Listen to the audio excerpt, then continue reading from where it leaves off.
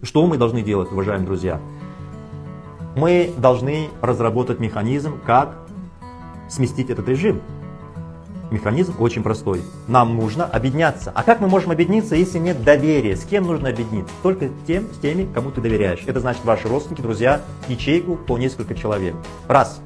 Затем ваша ячейка выходит на меня лично. Контакты я вам Телеграм дал, на штаб. Все ссылки есть.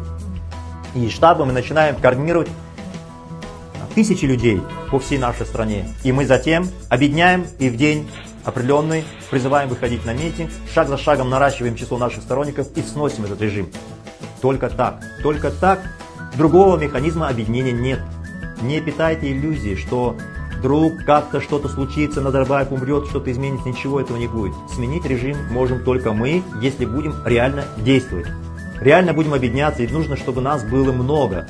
Все те, кто говорит, что митинги бесполезны, они не могут показать, что был митинг, действительно выходили тысячи людей, и вдруг не оказалось никакого эффекта от этого.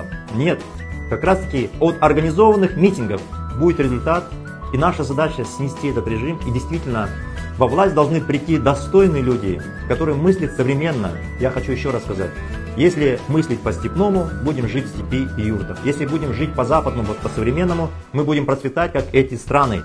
Летать в космос, изобретать свои компьютеры, самолеты и все прочее, что что угодно, но стать частью этого динамичного глобального мира.